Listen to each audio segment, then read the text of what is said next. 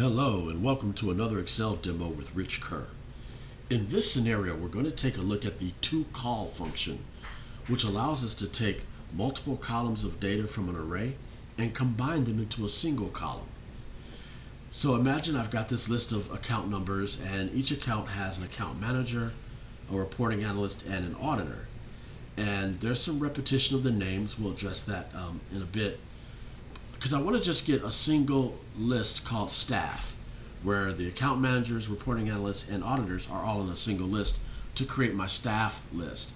So I'm going to skip over a column and create a heading staff and we'll do equals TOCOL, open paren and we can see the one required parameter is an array of data. So I will select from B2 over and down to uh, D31 close paren. So we now have each of those values. So it kind of goes across Austin, Lauper, Graham, then Prince, Chacon, Almanzar. And we can see that's happening here. Uh, and that's great. That's basically what I wanted, except I don't need the repetition, right? I only need one of each. So I'm going to wrap my TOCOL function inside the unique function.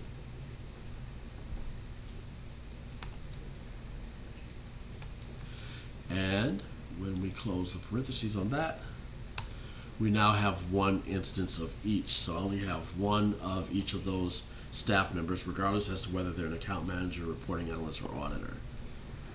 Now, I think the last thing I'll do is I'd like to see this in alphabetical order. So I'm going to put the unique uh, uh, TOCOL result inside the sort function. So we'll do a sort in front of that and a closing parenthesis. And there we go. So it was the TOCOL function that got us there, got us to the point where we had the data from all three columns in a single column. So that was the function of TOCOL. And then from there, we put it inside unique, so I only had one instance of each name, and then sort uh, so that it would be in alphabetical order. And so now here's our alphabetized one, ver one instance of each name uh, combined from those three separate columns. Now I'm going to add one additional piece that's really kind of cool.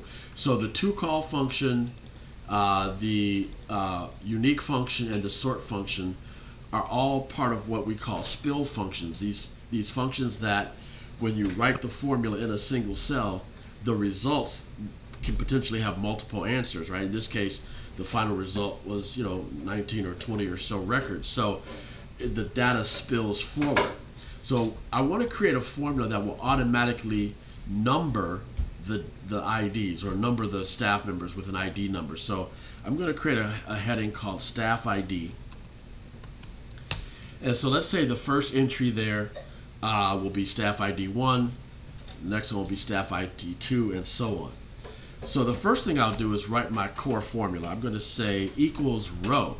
Now the row function is nice because I can refer to this cell over here, K2, which is my first staff member. So the result of that function would be 2 because it's in row 2, but I can simply say minus 1, and that then becomes staff ID number 1. Here's the thing though, guys. I don't want to have to manually drag this down.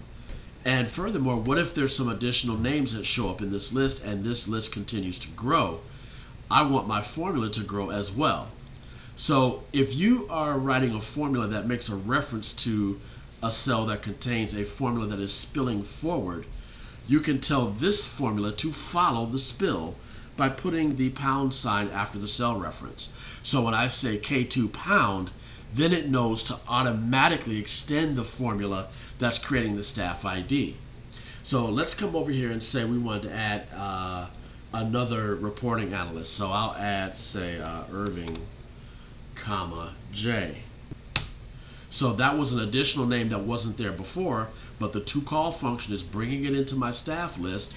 It's in alphabetical order, and of course there's only one. I mean, if I put him somewhere else in the list, right? So two uh, Irving comma J, but it still only shows up one time in my list.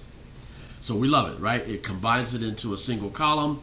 It's sorted, it's unique, and then our staff ID uh, formula is using the uh, pound sign to indicate that it should spill forward with the data that it's related to.